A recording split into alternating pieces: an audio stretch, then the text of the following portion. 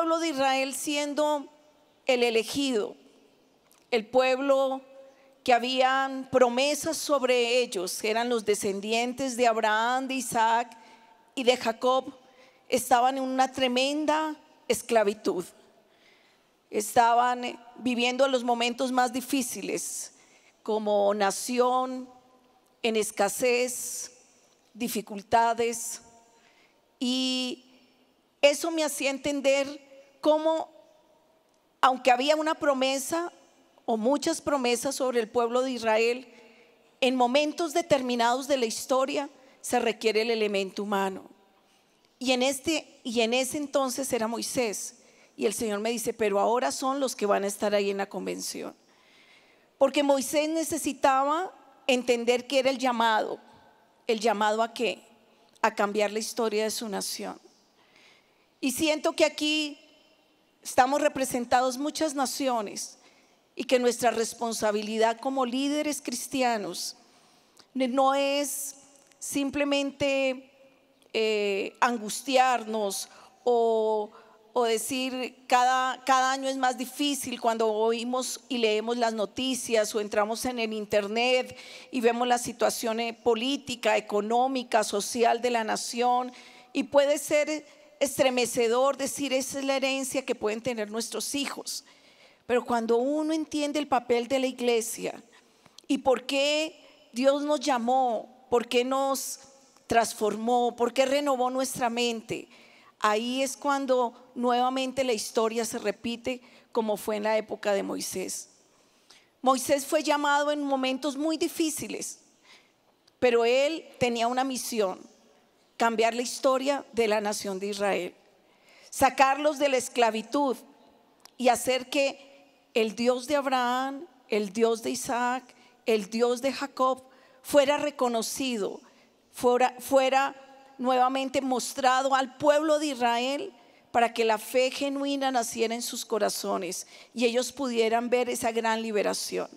Entonces ahora sí, permítame leer ese, verso en el capítulo 3, el verso 15. Dice, además dijo Dios a Moisés, así dirás a los hijos de Israel, Jehová el Dios de vuestros padres, el Dios de Abraham, el Dios de Isaac y el Dios de Jacob, me ha enviado a vosotros. Este es mi nombre para siempre, con él se me recordará por todos los siglos. Van a ser tres etapas en la convención. En los primeros días, o sea, desde hoy, mañana, es como que el Señor quiere darnos a conocer en su plenitud lo que es el Dios de Abraham.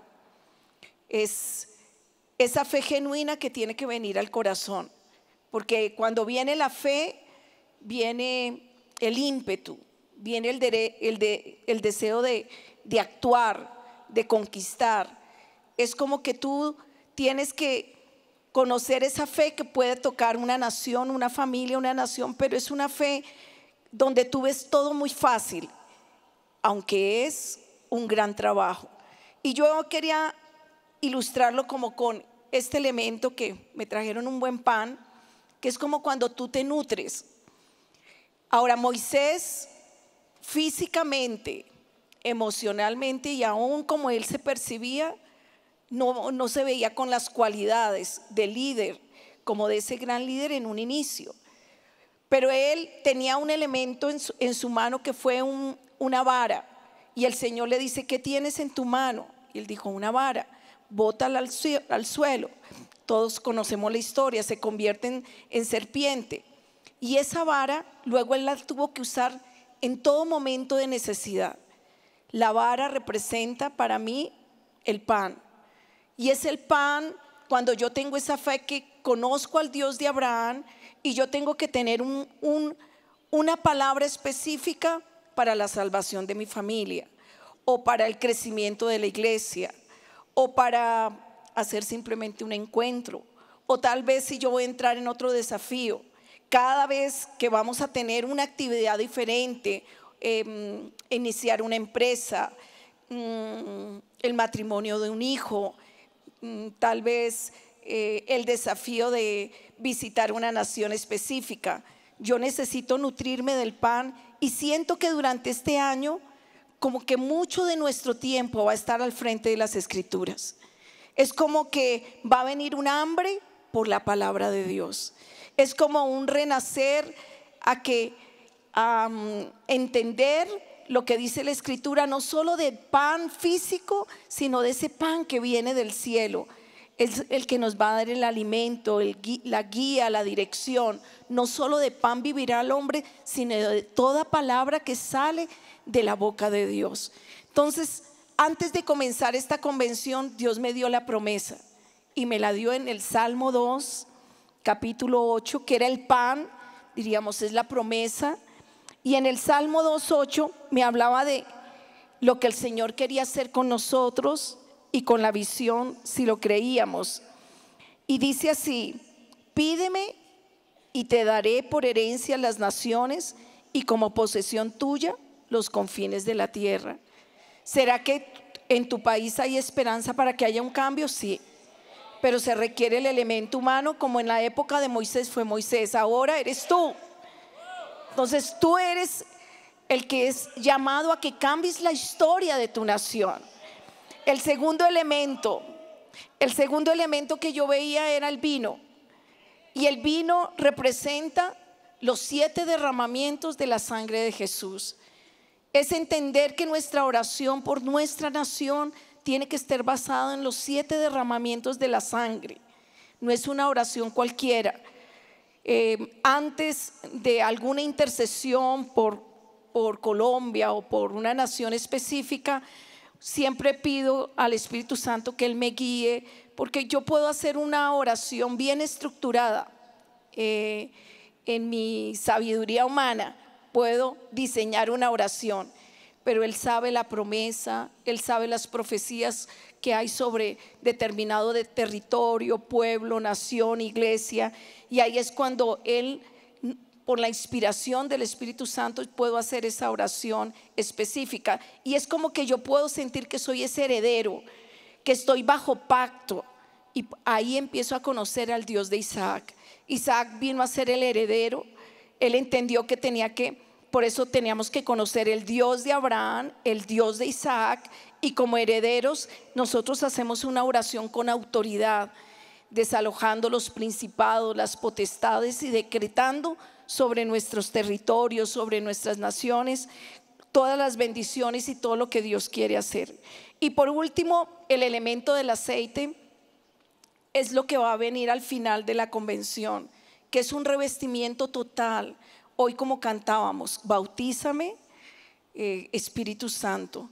Eh, quiero em, despojarme de mí y saturarme de ti. Y aquí es cuando el Señor eh, nos, nos da la revelación en plenitud de lo que es la visión, de lo que es la conformación de los doce, de lo que empieza un gran ejército, porque veía, eran miles y miles de recién nacidos en el ministerio donde nosotros los pastores que tenemos una mayor experiencia, los iniciamos en esta vida ministerial y ellos empiezan a abrir sus células como lo hicimos hace 30 años, con los líderes de célula que comenzaron en la ciudad de Bogotá hace 30 años atrás, pero que ellos fueron fieles en esa célula, pero hoy en día son misioneros.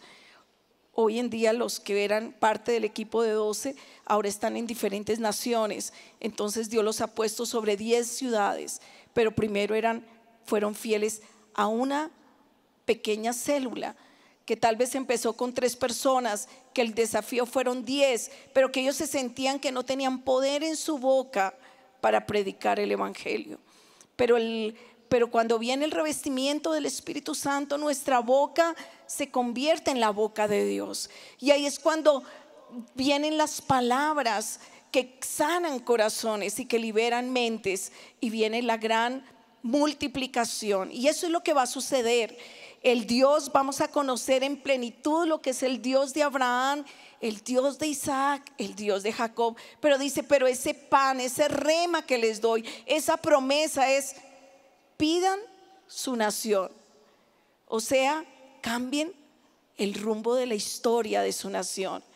Tal vez hay sequedad en la nación. Bueno, vamos a orar que mande la lluvia al Señor. Tal vez hay distanciamiento de los jóvenes que no tienen un conocimiento pleno del Evangelio, empecemos a pedir nuestra nación de jóvenes.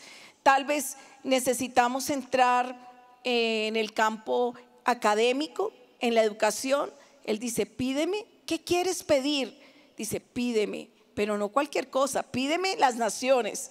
Y si, te, y si las pides hoy, yo te las voy a dar. Te voy a ensanchar tu corazón de tal manera que siempre vas a poder nutrirte de la palabra, que es nuestro pan de vida.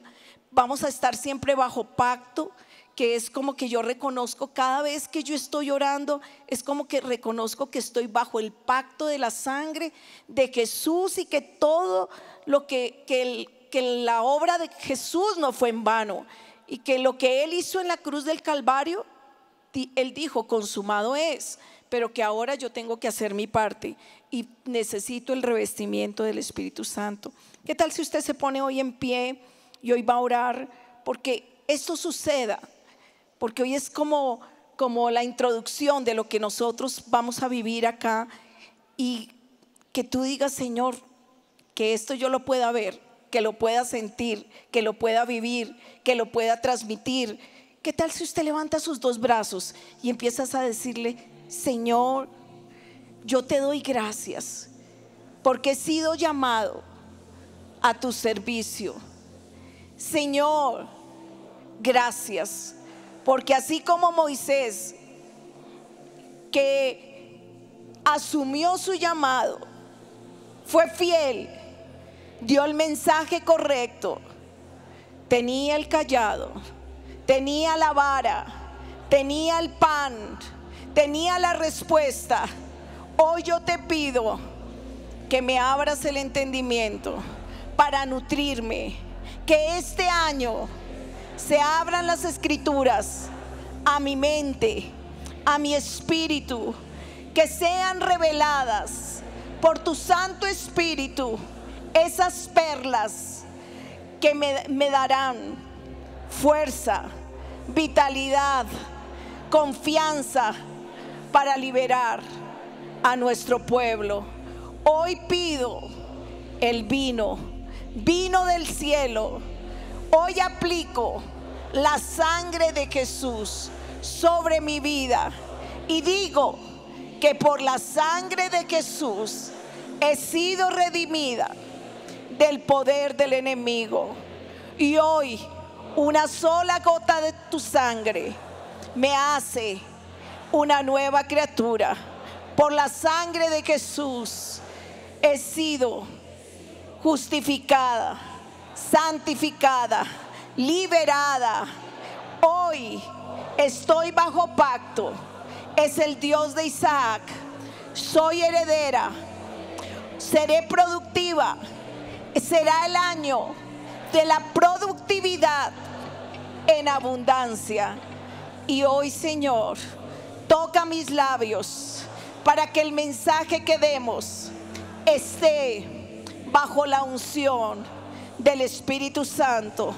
Hoy renuncio a toda palabra necia, negativa, cualquier mensaje que no fue inspirado por el Espíritu Santo Hoy yo me arrepiento. Hoy pido que sea yo ese canal puro, santificado. Cualquier contaminación por mi cultura, por mi familia, cualquier palabra que fue dicha eh, fuera de tiempo y puso límites al ministerio Hoy yo me renuncio a la lógica, a las circunstancias que han sido un velo para yo flaquear. Yo hoy me, sostengo en la promesa, en la promesa de Dios. Es el Dios de Abraham. Es la confianza en ti. Gracias Señor. Hoy pido que venga el Espíritu Santo y toque mis labios como lo hizo en la antigüedad con Isaías, con Jeremías, con Pablo, con los siervos de Dios, en la unción del Espíritu Santo sobre mis labios. Quémalos, purifícalos. Es el fuego de Dios. Hoy pido que sea tu Santo Espíritu en esta semana dándome entendimiento, guía, dirección. Hoy te pido que me hables de una manera tan profunda. Si hay puntos ciegos, quiero verlos. Si hay cosas por arreglar, estaré frente a la cruz. Eres un Padre bueno, eres un Padre santo que me liberas. Así te conoceremos, Dios de Abraham. Eres mi Padre, Dios de Isaac. Eres el, eres el ungido de Dios. Tú pones tus manos sobre mí, Espíritu Santo. Tú unges nuestra cabeza. Tú unges nuestra, nuestro cuerpo, que es templo del Espíritu Santo. Es el Dios de Jacob. Tú quitas debilidades. Hoy renunciamos a todo aquello que sea carnal, que no te agrade, que haya estado en nuestra personalidad y no y no es de tu gusto, Señor. Hoy renuncio en el nombre de Jesús, el Dios de Jacob, el Dios de Jacob. Revélate a nosotros, úngenos, úngenos para la conquista de las naciones. Hoy pedimos estas naciones y tú empiezas a orar por tu nación. Hoy pedimos avivamiento. Hoy pedimos entendimiento. Hoy pedimos un mensaje claro para nuestros jóvenes. Sanidad a los matrimonios. Protección a los niños. Hoy pedimos que corra lo largo y lo ancho. Creatividad. Hoy pedimos unción que viene de lo alto. Pide. Dice, pídeme y te daré. Lo que tú pidas se te dará y se te otorgará. Pide nuevamente esa fuerza de conquista. Pide. Levanta tus dos brazos. Pide. Pide misericordia. Dice, volvemos al ayuno. Volvemos a la oración. Volvemos al arrepentimiento. Volvemos al clamor para que venga el libertador. Clama a Él. Clama a tu Dios. Clama al Señor. Clamemos por misericordia y por verdad. Gracias Señor. Gracias Señor. Aleluya. Aleluya. Todos bienvenidos. Será una semana maravillosa. Gracias, Señor. ¿Qué tal si usted dice conmigo, esta semana tendré la fe que necesito para cambiar mi nación? Esta semana tendré la confianza y la revelación de la sangre para reprender demonios en mi nación. Esta semana nos visitará el Espíritu Santo y ungirá mi boca y predicaré como lo hizo Jesús, como lo hizo Pablo, a mi generación y ganaré toda mi nación para Jesús. Yo lo creo, yo lo creo. Si tú lo crees, da un aplauso al Señor.